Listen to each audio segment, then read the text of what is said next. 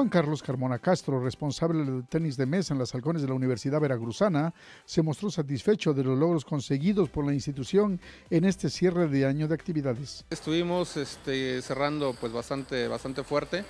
Eh, tuvimos el circuito metropolitano el, cerrando el mes de noviembre y tuvimos el Campeonato Nacional de Primera Fuerza, al cual asistieron solamente algunos, algunos universitarios, no fue toda la delegación y además tuvimos una concentración el fin de semana pasado, entonces hemos estado trabajando bastante fuerte con la intención de, recuperar el, nivel que teníamos con, y que se ha demostrado todos estos años de tenis de mesa de la Universidad Veracruzana, ¿no? de los halcones propiamente.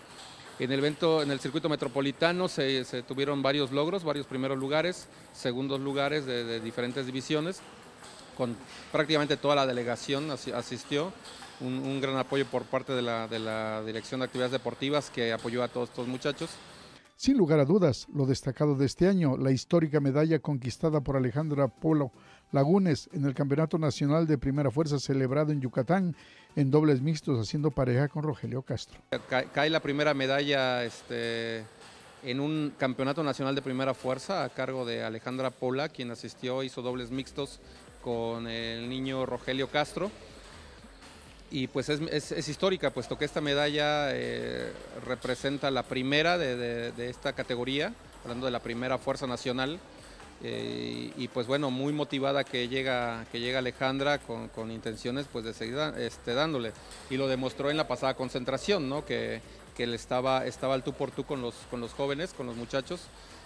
y pues la verdad es que creo que vamos por buen camino. Carmona Castro agregó que fue importante la concentración celebrada hace unos días, donde, por cierto, motivada, Paula Castro mostró sus avances enfrentando a los seleccionados de la rama varonil y el reto de 2019 recuperar la hegemonía ante la delegación de Puebla en el regional de Universidad. Para RTV Más Deportes, Carlos Serrano Bazán.